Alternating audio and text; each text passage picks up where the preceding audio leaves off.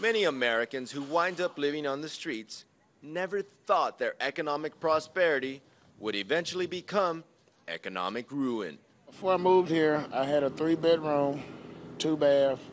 I had two cars and a truck, a big backyard, big front yard, a dog in the front, a dog in the back. Kevin Payton describes his financial stability when he was working as an electrician in Louisiana. After being laid off, he headed west to San Diego in search for work.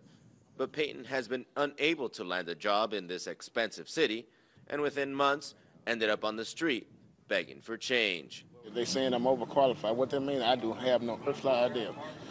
But they saying I'm overqualified, and I don't understand that. Job is a job. Payton is not alone when it comes to formerly middle-class Americans unable to find work and ending up on the street. I used to be a nurse assistant for Convalescent Hospital for the elderly. Out of shame, Nina doesn't want to show her face on camera. She's so embarrassed about her financial situation, she hasn't come clean to her relatives about how bad things have gotten. She now sleeps on a mattress on the street corner. It's a rough life, made even tougher as police enforce measures to push homeless people out of certain neighborhoods.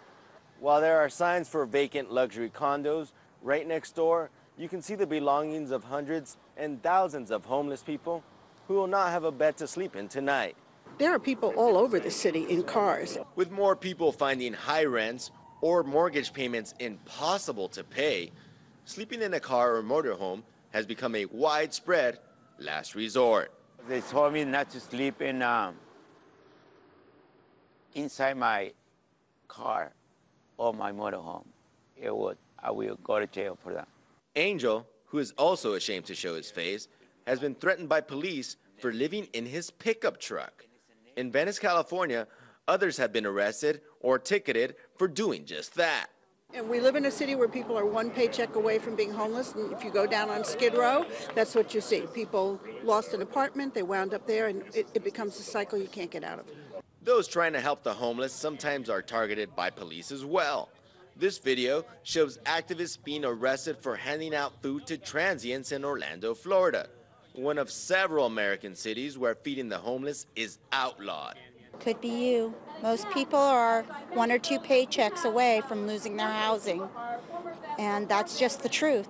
Nationwide, the official unemployment rate is doggedly stuck at over 9%.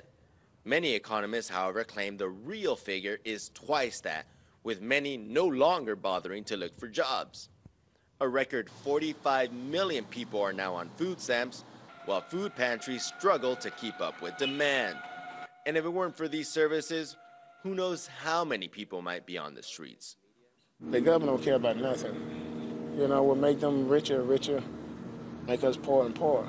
As the government struggles to get its own financial house in order, little thought seems to be given to the housing of Americans across the country, leading many to wonder if scenes like these might be the new normal for America.